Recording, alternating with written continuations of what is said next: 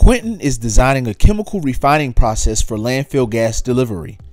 The landfill gas consists of 49% methane on a dry volume basis and has a heating value of 475 BTU per standard cubic foot.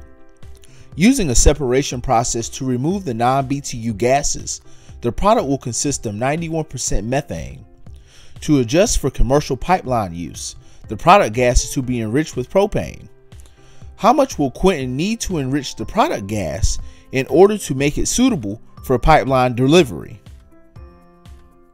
Is it A, 4%, B, 8%, C, 12%, or D, 16%? Pause the video and take 5 minutes to complete the problem. Have you finished solving the problem? Let's see if you have the correct answer. Today we will briefly discuss landfill gas.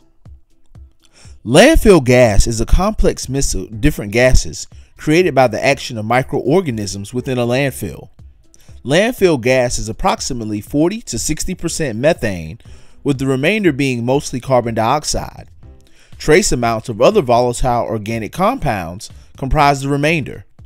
These trace gases include a large array of species, mainly simple hydrocarbons.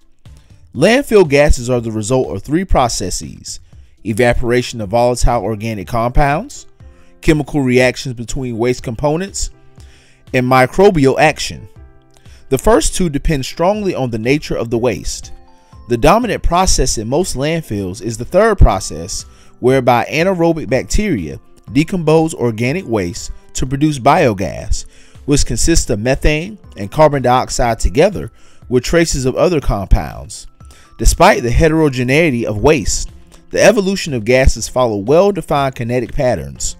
Formation of methane and carbon dioxide commences about six months after depositing the landfill material. The gases produced within a landfill can be collected and used in various ways.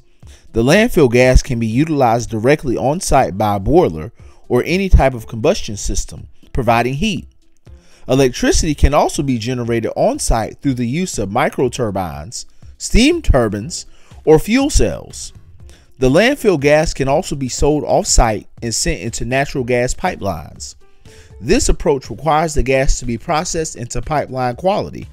For example, by removing various contaminants and components and or enriching it to allow for efficient delivery to businesses and households. In this problem, we have some landfill gas that is concentrated, then enriched to allow for pipeline delivery. So first, let's solve for the heating value of the newly concentrated landfill gas. The gas directly out of the landfill has a heating value of 475 BTU per standard cubic foot at a percentage of 49%, while the refined gas will have a methane concentration of 91% we can simply do a ratio between the two gases and we get a heating value of 882.14 BTU per standard cubic foot.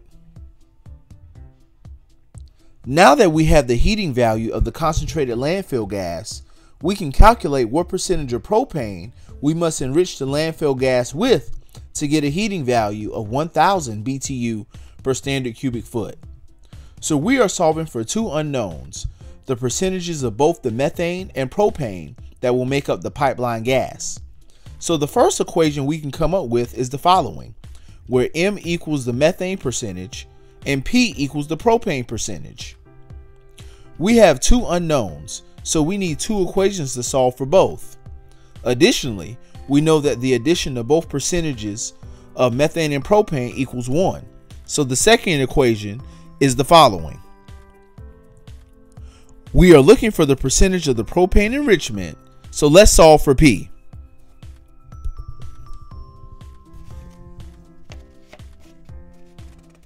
And we get P equals 0.077, which equals 7.7%, which is closest to B.